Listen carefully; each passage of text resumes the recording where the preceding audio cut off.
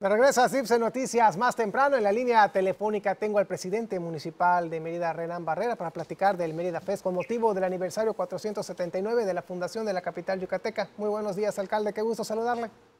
Humberto, qué gusto saludarte. Feliz año a ti y a todo el equipo de CIPSE más temprano y por supuesto eh, a todos los que nos ven y nos escuchan. Un gusto como siempre estar en tu espacio y platicar pues de los temas importantes que mes con mes, semana con semana, día con día vamos trabajando en la, en la gran capital, en la ciudad de Mérida. Y bueno, como bien mencionas ahora precisamente con el 479 aniversario de la ciudad de Mérida, que pues como sabemos se cumple el día de mañana, 6 de enero, que es el día de su fundación.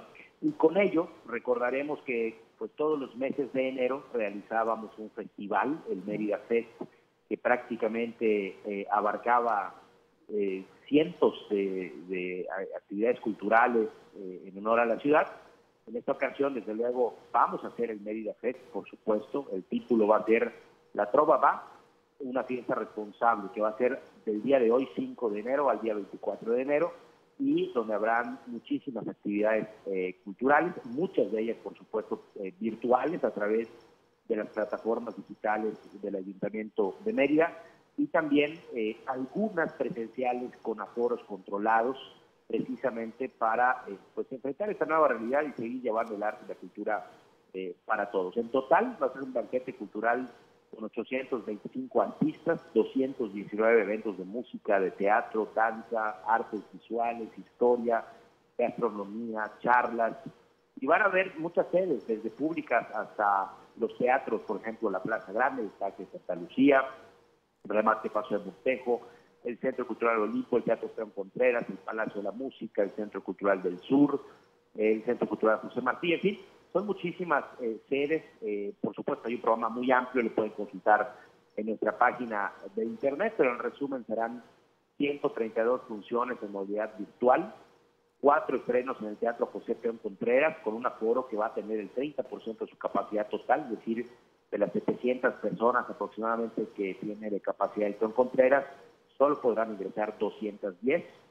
Y eh, bueno, tendremos también 16 funciones de estreno en, modalidad híbrida, es decir, todo lo presencial también se transmitirá de forma virtual y por supuesto los eventos tradicionales que empiezan el día de hoy. Pues es que de alguna forma hay que irse adaptando a los nuevos tiempos y lo que la tecnología nos permita, pues ir también aprovechando. Esto va a ser pues muy interesante. Inauguran hoy, entonces sería a las 11 de la noche, ¿comienza? Es correcto, es correcto, Humberto. Tendremos hoy la alborada, la tradicional alborada. En años anteriores lo que se hacía era una caminata donde caminábamos de Santa Lucía hasta el Palacio Municipal para poder cantarle a la ciudad y poder cantarle las mañanitas. En esta ocasión va a ser un formato diferente, no habrá acceso al público ni tampoco eh, a los vehículos. La plaza se estará eh, cerrando alrededor de las ocho y media de la noche para que se hagan los preparativos de la celebración. Ahí estaré yo, eh, por supuesto, recorriendo. Habrán pues diferentes escenarios. Vamos a hacer una dedicación precisamente el día de hoy de la alborada y de los festejos. Tendrá una dinámica diferente, pero vamos a hacer también eh, pues los temas con letras dedicados a la ciudad, que normalmente eran los temas eh, que le cantaban a Mérida, van a cambiar en esta ocasión a composiciones del maestro Armando Manzanero, a quien se le rendirá pues el primero de varios homenajes con esta con estas mañanitas, pues sabiendo que es uno de los meridianos que más eh, amó la cultura y que más trascendió las fronteras.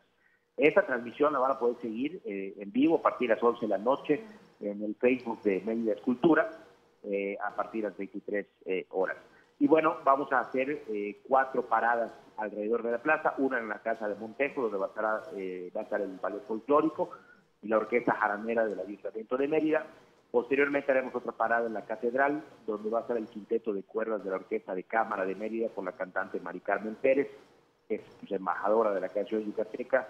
Y luego en el pasaje Picheta vamos a detenernos para poder escuchar eh, a los integrantes del coro de la ciudad de Mérida, acompañados del periodista Ricardo Mo. Y finalmente pararemos en el Palacio Municipal, donde van a estar las asociaciones de trovadores, que a diferencia de otros años, en esta ocasión no estarán todos los integrantes, sino solamente seis representantes de cada agrupación. Y bueno, a la medianoche, la tradicional eh, mañanita para eh, pues poder conmemorar precisamente pues este aniversario 479 de nuestra, de nuestra ciudad. Y qué agradable con las canciones del maestro Armando Manzanero. ¿Tiene alguna favorita?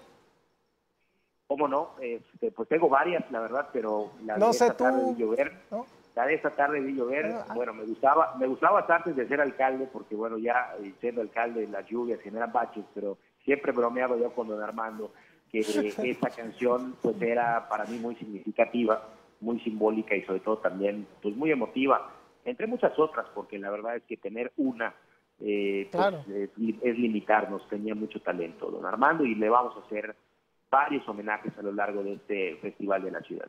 Claro. Nos comentaba entonces, habrán algunos eventos que no, no solamente va a ser por la parte virtual, que entiendo se estará transmitiendo también por, por la TV, por Teleyucatán. Sí, exactamente. Teleyucatán transmitirá eh, eh, a través de, su canal y también eh, a través de nuestras redes sociales digitales. Vamos a poder estar transmitiendo. Por supuesto, es una cartelera muy amplia. También la gente puede consultar en media.gov.mx diagonal Mérida Fest, y bueno, pues van a ver eh, ahí la cantidad de eventos. Por ejemplo, eh, el concierto inaugural de Soy Meridano con los juglares, que será el día de hoy a las 7.30 de la noche, eh, el grupo Yajalcap, el Vino de la Alegría, el Cuarteto Amadeus, Grupo Maltercio, y bueno, son 800, 800 eventos que prácticamente también contarán con caravanas artísticas en colonias y comisarías, es decir, hay la modalidad virtual, hay la modalidad también presencial con aforos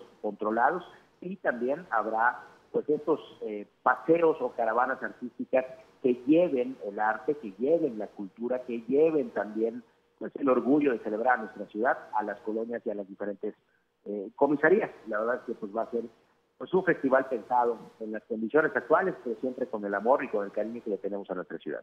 ¿Los eventos presenciales tienen algún costo? No, eh, ellos, eh, todos los eventos serán gratuitos, hay un proceso de registro ahí también para los que quieran estar en la página de internet y por supuesto pues podrán acceder las personas que hayan eh, obtenido pues estos boletos. La verdad es que si hay el deseo de poder acudir, pues, bienvenidos y si no, pues la comunidad de la casa a través de Teleyucatán, a través también de las redes sociales y pueden verlo sin mayor esfuerzo y disfrutarlo como si estuvieran ahí. Excelente, pues 479 años, creo que la capital lo merece. Alcalde, hay un proyecto también muy interesante que han estado llevando a cabo, que es el proyecto de realidad aumentada. ¿Cómo está funcionando este proyecto? Sí, muy interesante. ¿eh? Eh, por primera ocasión pusimos una, un innovador proyecto digital, que es la realidad aumentada, eh, que en este caso está en el Monumento a la Patria, es el primer sitio que cuenta con este proyecto digital y lo que busca es que pueda ser una herramienta que a través de tu teléfono celular puedas bajar una aplicación que se llama Visit Mérida MX, es una aplicación gratuita que es compatible con todos los formatos de celular y entonces tú puedes pasear el monumento a la bandera y con tu teléfono, ya una vez descargada la aplicación, apuntar a alguna de las diferentes esculturas o de los diferentes eh, grabados que tiene nuestro, eh, nuestro monumento y entonces ahí se despliega la información de ese punto en especial. Es decir, eh, este software lo que permite tener una información detallada, lo tenemos en español, en inglés y ya se está trabajando para tenerlo en maya y en francés.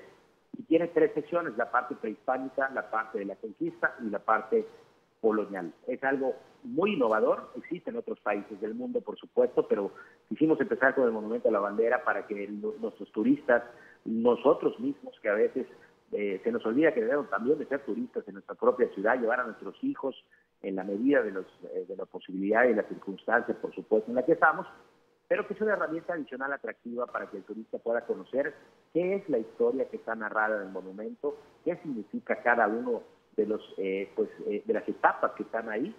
Y desde luego pues sale incluso hasta Rómulo Rosso sale en realidad virtual.